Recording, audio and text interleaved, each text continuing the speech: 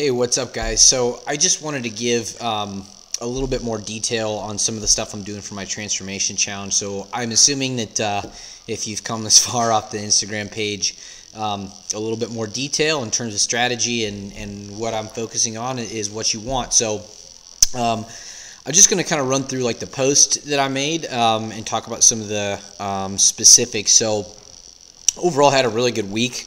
Um, lost almost five pounds, uh, down a couple percent in um, in body fat percent, and um, also about a half inch off of my waist. So pretty pretty awesome start for for the first week. Um, I think that's typical when you make an adjustment um, and you have you know a reasonable amount of body fat to lose. Um, if you've been feeding your body well, your metabolism will probably respond to that really positively. Um, and I, I, think that's what I've seen here. Um, looking at my pictures, not really a crazy difference um, in terms of what I, I, see from week one to week two. Um, maybe different for you. Um, we're all our own biggest critics, so I, I may be counting myself short in that. But typically, I think it takes a few weeks for that stuff to really visually look different. So, um, you know, if you're in the same place where maybe you had like a good progress in terms of, you know, statistics or whatever, but you don't really see it, um, you know, fret not because th- that's going to take some time. Like I said, usually for me, two or three weeks of consistent um, weight loss, and then I'll, then I'll start to be able to see it, um, especially when I look at things side by side. So, with my nutrition, this is a little bit of a different approach than what I've taken previously. You know, and that's different coaches have different styles. There are a lot of things that work um, with nutrition.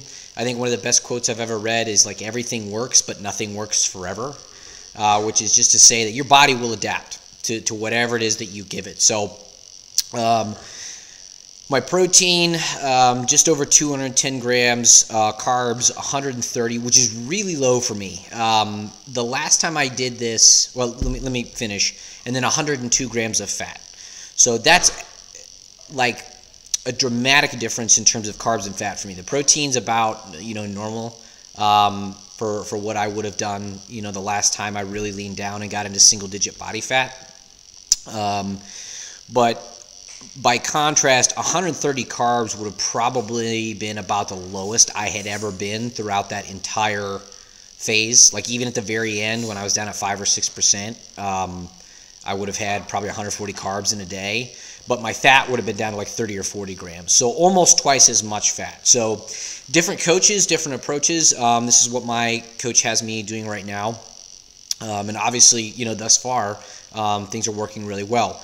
Um, one other note on nutrition. So one of the first things um, that I've seen a lot of people eliminate, I've done this for some of my clients in the past, and that my coach has done, um, is actually eliminating the post-workout shake.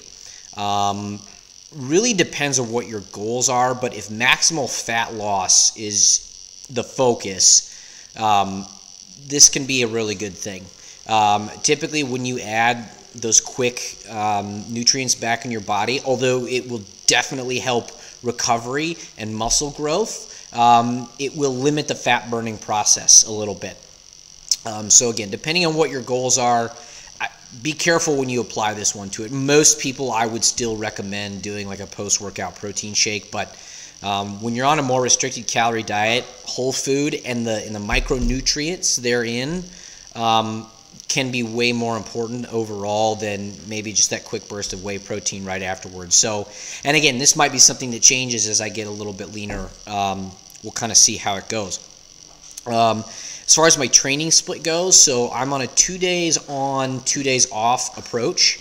Um, right now, it's really focused on um, maximal strength um, and intensity. So usually I'm doing things in supersets, and it's called wave training. So typically, I take things. My first set is a set of seven reps. The next one is a set of five reps. The next one is a set of three reps.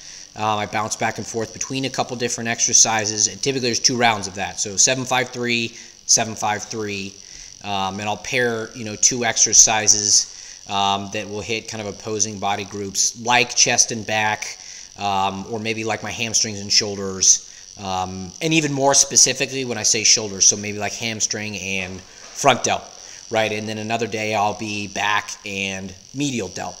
Um, which is a little bit more advanced in that it gets difficult um, to you know isolate specific muscles like that. It takes a lot of practice, but um, just something for you guys to think about.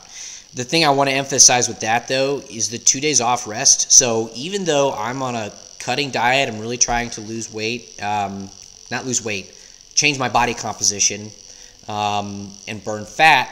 I'm still taking two days off, and I'm doing no cardio of any kind.